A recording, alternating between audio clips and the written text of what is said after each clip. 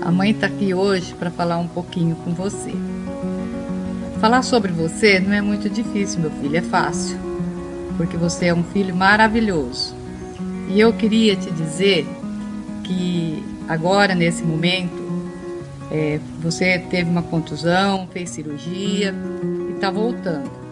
E agora, como todas as outras vezes, você sempre é, é, teve assim um apoio nosso, da família toda.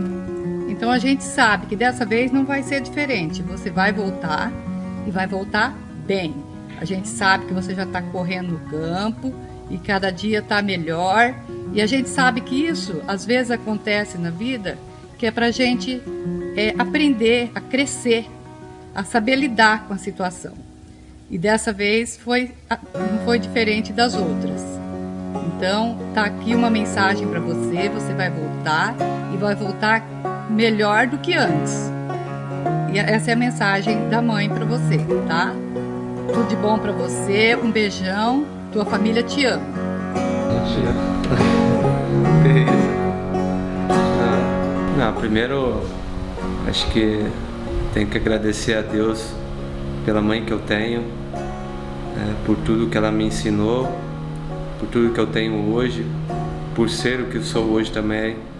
Ela tem uma grande é, parcela nisso.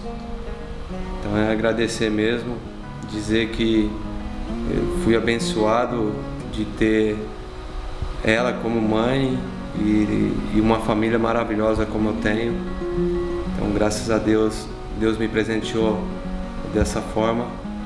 E ela é um exemplo para mim de dedicação, de humildade, de simplicidade, de saber é, nas horas difíceis que a gente vê realmente a força que a gente tem.